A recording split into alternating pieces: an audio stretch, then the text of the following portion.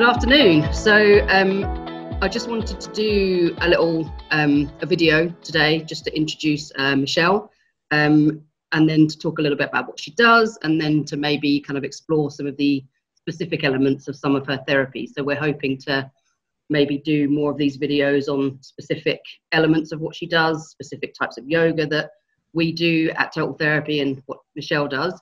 Um, so, hi, Michelle. Good afternoon, Sarah. How are you? I'm good. I'm good. You're good. Um, so I think some people might know you, some people might not know you. I think yep. um, certainly a lot of people might not know the scope of what you do, might not know um, potentially your background, kind of how long okay. you've been doing what you're doing. Um, so I thought it might be quite a good opportunity to kind of really introduce yourself and talk about, you know, how you came to total therapy, how you came to doing the therapies that you're doing, um, so yeah, I think it would be quite a, a, useful thing for people to know, and then maybe we'll explore in different sections uh, some of the detail of some of the things that you do. Okay, that sounds like a plan. So I am Michelle, known Sarah quite a long time, and uh, my background was in humanitarian aid, as was hers, and then I got really interested in aromatherapy after being a guinea pig for somebody and fell in love with it and started to study that. Um, so that took me into the realms of holistic therapy, and I did different holistic therapy trainings while I was still working in humanitarian aid.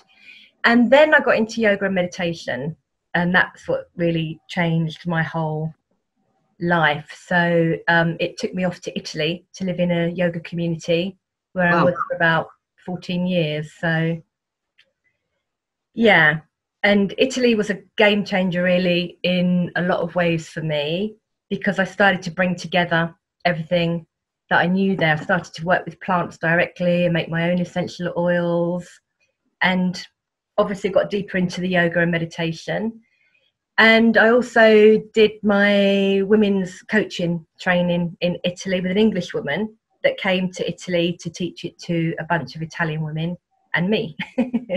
so in Italian or in English? In she well she spoke in English, so I had first hand, and then it was translated in Italian, so I had double whammy. So I really got, got to understand it, and had been working with my own menstrual cycle anyway because I used to suffer a lot with PMT and um, pain. And I basically got my hands on a book that said "Fall in love with your cycle," which I kind of thought I was going to just chuck in the wood stove. It would be not worthwhile, but it actually fundamentally changed everything for me. And I would say uh, my pain reduced by 80% and PMT disappeared. Wow. So learning how to work with my cycle led me on then to go and train with Alexandra Pope in Italy and go really deep into how to share that with other women. So that's kind of a nutshell of Italy. So did um, you do much, did you do a lot of your training in the yoga and meditation in Italy or did you do a lot of that before you went to Italy or? So a bit of a mixture. So some training I did in Italy and some I did actually when I came back to England in 2014 so for things for example like meditation I was already teaching that in Italy used to teach it to um, kids and teenagers because I was part of the Ananda school there. Um, and then when I came back to England, I needed a piece of paper. So right. I found myself after having lived in a in a yoga community for a long time. I never did the formal training, and suddenly come back to England and realised I should have done that when I lived there. Right. So I, did, that when I came back. Um, and I also went on and did things like hot stone massage uh, diploma to top that up and got into scar work as well. So scar yep. healing for so I work a lot with things like mastectomy, C-section, joint replacements. So working on that that side. So is that a is that a physical therapy? Is it a hands-on therapy? Yeah, that's a hands-on therapy. It's very gentle, it's very light touch and it works with the fascial web as well. So it's about integrating the scarring and like for example with mastectomy often there's a real restricted movement and after the scar work the movement can come back in. And it feels better it loosens up all the adhesions and it's very integrative on an emotional level as well. So that's part of what i've done in england. And then back to the to the meditation. Um, I did I did I got into yoga nidra more when I came back to England and started to use it as a personal practice for me, and then went on to training in that as well. So that's a big part of what what I work with, both in groups and also on a one to one basis. Yeah. So because i know that you you've also done a lot of um, coaching stuff. I think you're aware of things like the gestalt kind of um, methods and things like that. So because you do have a lot of different very different strings to your bow and you've got a lot of knowledge about different sorts of um, schools of training i think in certain therapies. So yeah. um, and i think what's great and probably difficult to understand is that you bring all of that into what you offer. So yeah. even even your aromatherapy treatments for example you bring elements of everything that you do into that. So it's quite hard to potentially explain this is what you're going to get with a treatment because i think it's it's that kind of integrated approach isn't it that i think we all try to use with all of our training. And certainly from a personal point of view you've got a background in physical therapy but then you study movement therapy, you study hands-on therapy, so you bring that all into something very re- unique. And I think that's I think that's quite an important port, uh, part of what you do, um, because it's very hard to explain when I think you know I, I think very progressive therapists and good therapists are the ones that do carry on training and they add lots of different things um, yeah. to bring to a very unique treatment. But that can be quite hard to explain to people if they don't know potentially what it is you do. Yeah and that's been quite challenging. So i've, I've now um, basically i sort of describe myself as a women's wellness specialist and yoga teacher. And right. that kind of encompasses everything without going into aromatherapy and reiki and scar work and um, everything else that i do. And and yeah it's true. I have a i mean i've done a lot of therapy myself for me for my own progression um, which i think as a therapist is a really important thing to do because you get a yeah. handle on different approaches. So I've dipped into body psychology and went on to do a diploma in body listening skills. So that will often come into a physical treatment with somebody for massage because the body holds the score of the mind. So if someone's got a pain in the shoulder that just won't go, um, you can massage it until the cows come home or they've been to see another physio or whatever.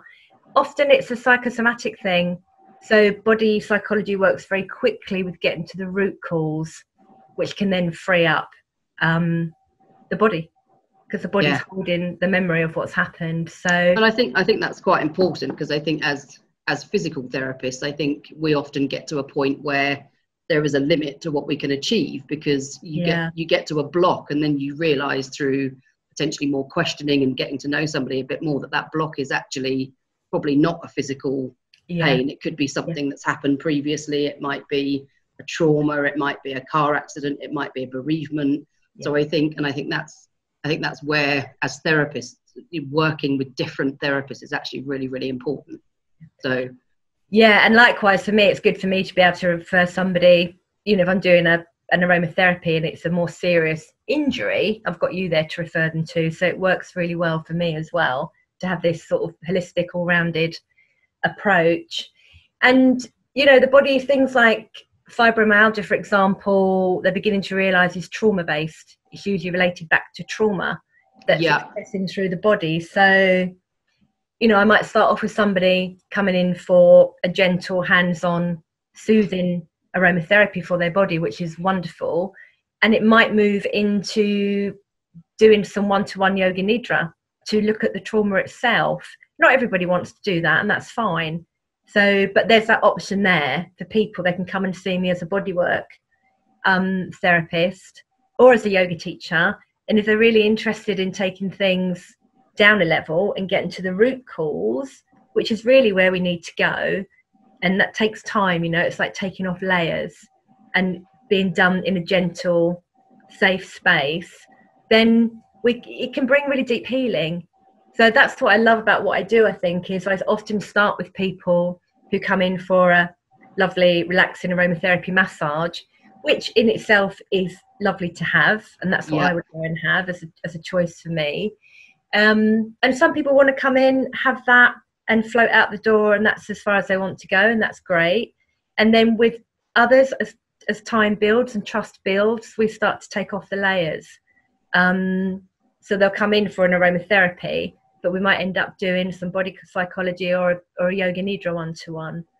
I think that's I think that's quite an um, quite an interesting and important point because I think you know if people don't know about these therapies and I think people can be a bit scared yeah. um, of maybe going too deep into something that they might be a little bit resistant to but I think that's where the, the physical therapies the massage therapies they are a really good avenue into that and I think a lot of people might kind of think, oh, I don't want to do that because I don't want them to delve into X, Y, and Z. But I think it's important for people to know that you know, as, as trained, experienced therapists, that you're never going to push somebody into something that they don't want to do. If they're not ready to do something, then, you know, that massage therapy is going to be where they are at that point. point and everybody reaches their own point and their own um, pathway i suppose their own what works for them is different for everybody but as therapists i think we we would never push somebody into something that they're not going to do or don't want to do. And i think that's quite important for for people to know as well. Really important for them to feel really safe. And i kind of have an intuition about what people are ready for and what they're not for. So i'll only ever make an invitation to somebody.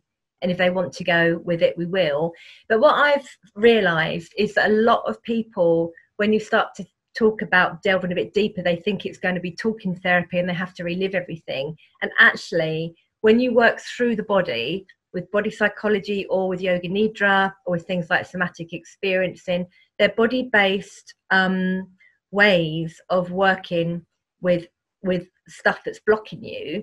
But the body releases it. You don't have to talk about it. And often often we have blocks in us and we don't know why. There's something might have happened to us or there's been a situation that, that we've blocked. And we can do that. We can go into um, disassociation and all that sort of stuff. But when you start to work with the body, and I could just literally sit and watch somebody, and they might be doing something with their hand, and then you start to go into that, and suddenly the hand will do it throws it off.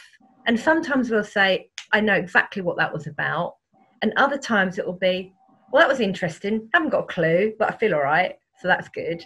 So it's not talking therapy has its place for certain things but working through the body is a fast route into releasing um, old blockages without having to go into all the talking. You know, yeah. so a lot of people I think don't under don't understand that because it's not, you know, it's not widely out well, there. it's not it's not it's not mainstream, and I think you know yeah. what's yeah you know with the with the mental health um, publicity at the moment, I think people are very confused about what help there is. And you know there's so many different avenues not only from a from a mind therapies with CBT and hypnotherapy and counseling and psychology and psychiatry. And there's so many different things that I think it can be quite overwhelming for somebody who is potentially suffering with emotional problems or blockages or trauma to actually know where to go. And I think what's kind of quite interesting from what you're saying is that well maybe there is a slightly less scary avenue through something as simple as having a massage. And you know i think as therapists it's important to kind of say that we're, we're also not going to work with conditions that are out of our scope of practice or our remit because we, we know the point to refer. Because if somebody's really struggling with mental health issues then you know you'd kind of go well that's that's not my that's not my arena. Um, but i think it's important that people know that they're there are avenues that don't necessarily open up those boxes that they might be quite scared of talking about. Um, and I think that's I think that is quite an important part of what is available to to, to for people to be educated about really. Um, so what sort of um, what sort of conditions I suppose what sort of people do you tend to see? Do you tend to see mainly women? Do you tend to see people that have pain or do you tend to have people more with emotional trauma or stress anxiety issues? What's your yeah so it's quite varied but i would say probably the majority is i see women who do too much um, or have stress and anxiety going on or just know that something needs something's not quite right. Um, sleep issues as well can come in quite often um, as the the calls for coming to see me. Um, but often oh, I've got something come up on my computer. Sorry, my te- I'm not very good at technical stuff. I'm good at some other stuff, but technical's not on my hit list.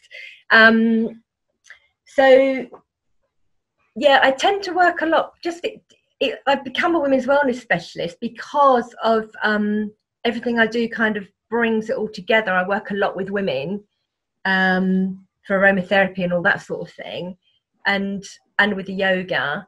But for the menstrual and the menopause work that I do, um, some women come to see me about that, and that's that's that's how we get in. The menstrual cycle is one of the key things for women where we find deep healing.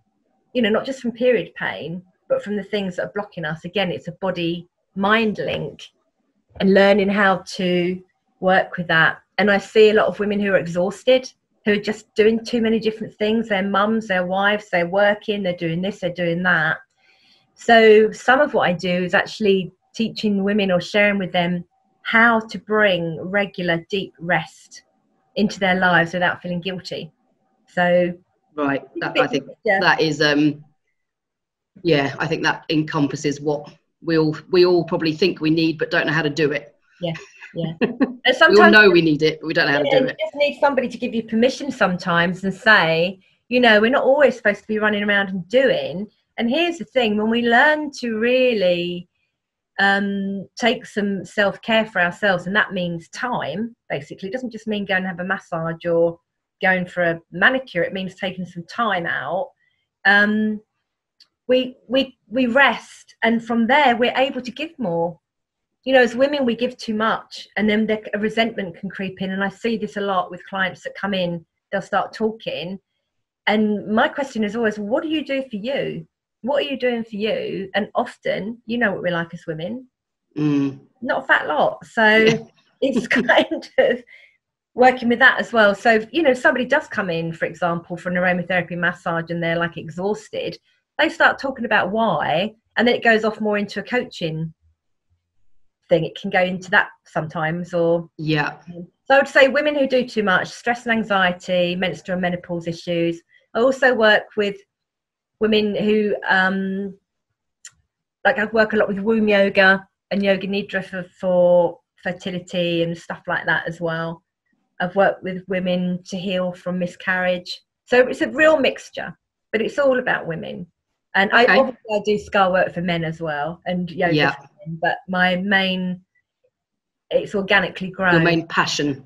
Yeah, and I, yeah. you know, a lot of the workshops I do are around holding safe space for women to come, where they can explore issues like menopause or anger or pain in a safe place. And what I've noticed and what I love is when women come together in a safe place, they find their voices and start to speak and share, and it becomes very animated. And that in itself is very, very healing. Very healing. So anyway, I could speak about it forever. But excellent. Okay, well we'll um we'll leave that there. I think that's been really useful. Um, so thank you very much for that, and then um, hopefully we shall reconvene again to talk about um, maybe some specific elements of the, the the treatments and the yoga that you teach. Um, so thank you. We'll see You're you. Uh, we'll see you when we're at the end of this lockdown. Oh yeah, yeah. for a for a flat white and a cream cake. Absolutely. Okay. Cool. Nice to see you. And you.